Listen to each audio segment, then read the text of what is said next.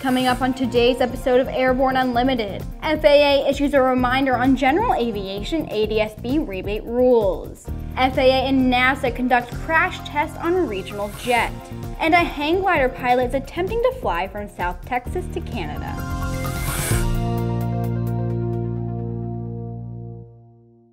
Happy Friday and welcome to the show.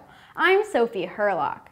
The FAA is reminding general aviation operators taking advantage of the agency's ADSB rebate program that rebate reservations must be made within 90 days of the installation of the appropriate equipment.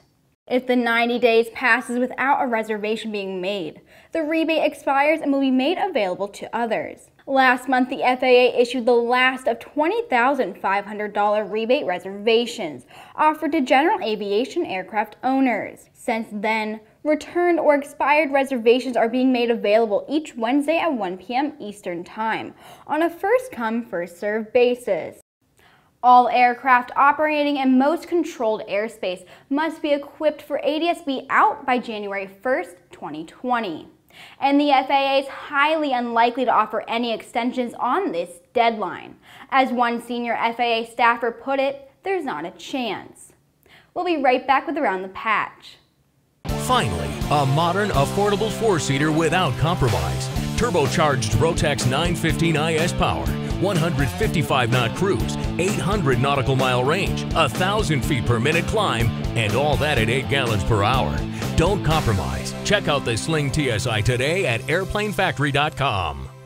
Sandia introduces the new SAI 340 Quattro TSO'd airspeed, attitude, altitude, and slip. With integral backup battery, safety never looked so good. See it now at www.sandia.aero. Welcome back. Let's take a quick look at some interesting stories coming out of the aviation industry. It's time for today's trip around the patch.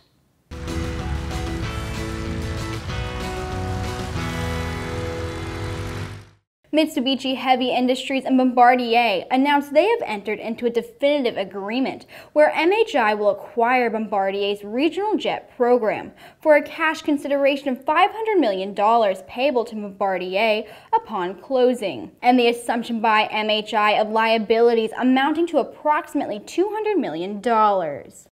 The City of Los Angeles filed a lawsuit against the FAA in the U.S. Court of Appeals, challenging changes in the traffic patterns implemented as part of the Southern California Next Gen Metroplex plan. LA City Attorney Mike Feuer alleges the changes in the approach and departure corridors for KLAX were made without proper environmental review or public input. He also claims the changes are the most recent failure by the FAA to address noise and other negative impacts from aircraft over flights in parts of the Mid-City and Central LA. A balloon participating in a bicentennial event for the town of Hannibal, Missouri, went through a crowd of people, causing a slight injury to one person on the ground. Event organizers said one young girl was slightly injured when the balloon went through, and they're relieved to report nothing more serious. A German Air Force pilot died Monday when the Eurofighter Typhoon jet he was flying collided with another Typhoon during a training mission. German Defense Minister Ursula von Leyen said the two aircraft were part of a three-ship unarmed sortie that departed from their base in Lodz near the Baltic seaport of Rostock shortly before 2 p.m. local time. The collision occurred about 20 minutes into the exercise. We'll be right back with the rest of the news.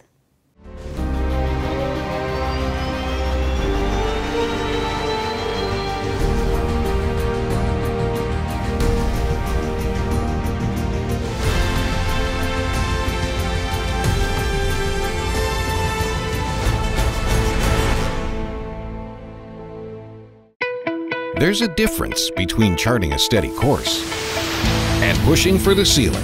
And for nearly a century, Hartzell Propeller has been defining that difference. It's in our passion for engineering and research and our dedication to testing the limits of performance. We are built on honor. We are Hartzell Propeller.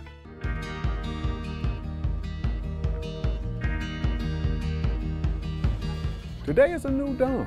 With a new name. Un nuevo logotipo. A new factor. Und einen globalen Kundenfokus. We are Continental Aerospace Technologies and we stand behind you.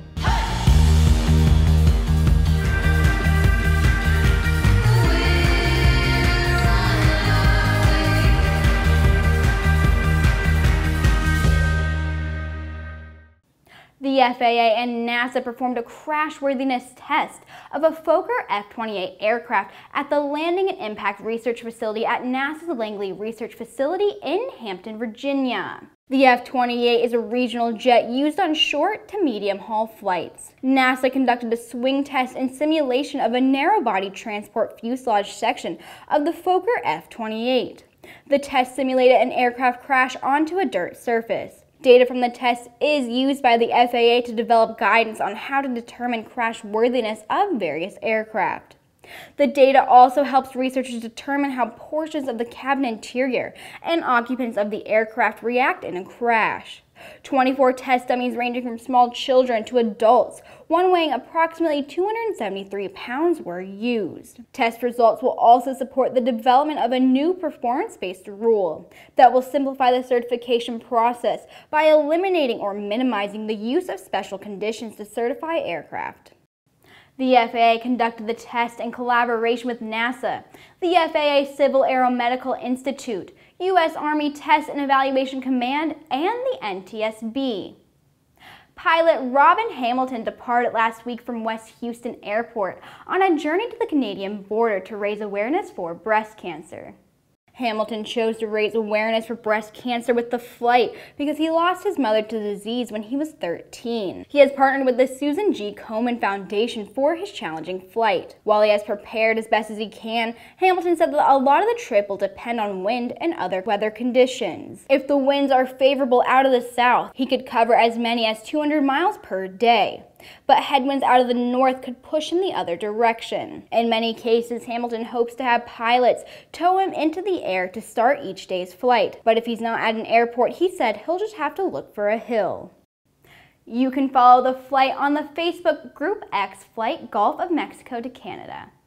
And that wraps up our week, everyone. Don't forget to hit the subscribe button and to check us out on Twitter and on Facebook. And if you want to read up on some aviation aerospace news this weekend, head over to aero-news.net. Thanks for watching, and I'll see you right back here Monday.